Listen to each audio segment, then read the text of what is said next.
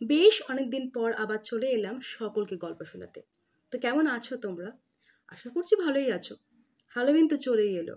ভয় করছে না তো?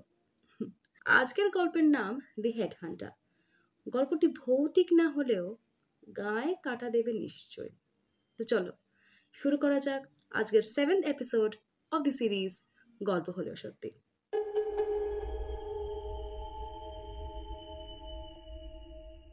চারজনের এক পরিবার। দুই সন্তান ও তাদের মা বাবা গাড়ি করে যাচ্ছিলে নিজেদের গন্তব্যস্থলে। কিছুটা যেতেই গাড়িতে কি একটা সমস্যা হয়। বাচ্চা দুটির মা বাবা গাড়ি থেকে নেমে আশেপাশে সাহায্যের খোঁজ করতে লাগলেন। কিন্তু কোনো আশেপাশের সাহায্য পেলেন না। বুঝলেন, কিছুটা দূরে গিয়ে হয়তো তাদেরকে সাহায্য চাইতে হবে। শত বাধা হলেও এটা করতেই হবে। কারণ রাত বাড়ছে, বাড়িও তো ফিরতে হবে। ওনারা যাওয়ার সময় গাড়িতে রেডিওটি চালিয়ে দিয়ে যান। যাতে বাচ্চা দুটো অ্যাটলিস্ট বোর্ড না হয়। এদিকে বাচ্চা দুটি মনের আনন্দে মাঝে মাঝে খেলছিল, মাঝে মাঝে রেডিওর কমেন্টারি শুনছিল।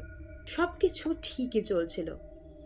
কিন্তু সব স্তব্ধ হয়ে যায় রেডিওর এক ব্রডকাস্টিং নিউজে শহরের কুখ্যাত দি হেড হান্টার জেল থেকে পলাতক। সকলকে অনুরোধ করা হচ্ছে তাদের নিরাপদ স্থানে থাকতে। তাদের একান্তই বাইরে যাওয়ার প্রয়োজন, তারা যেন সাবধানতা অবলম্বন করে।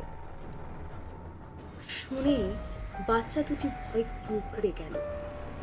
এদিকে রাত বাড়ছে, অন্ধকার হচ্ছে। তাদের মা বাবার এখন কোনো পাত্তা নেই।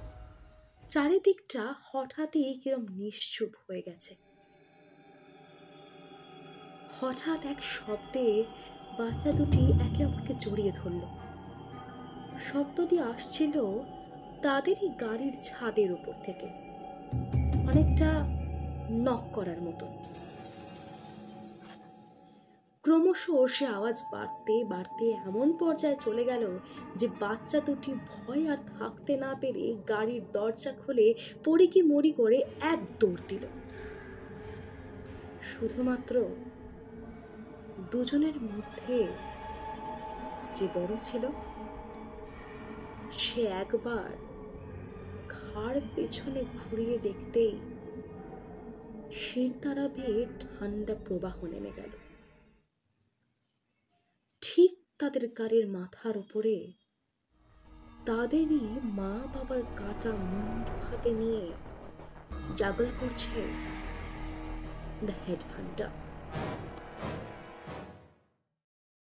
তো এমন যদি কোনো কুখ্যাত সিরিয়াল কিলার হঠাৎ ছাড়া পেয়ে গিয়ে থাকে?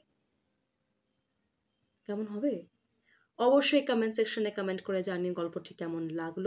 নতুন হলে সাবস্ক্রাইব করো, অবশ্যই প্লিজ সাবস্ক্রাইব করো সাপোর্ট করো এবং যারা দেখে চলে যাও সাবস্ক্রাইব করো না, তারাও প্লিজ সাবস্ক্রাইব করো।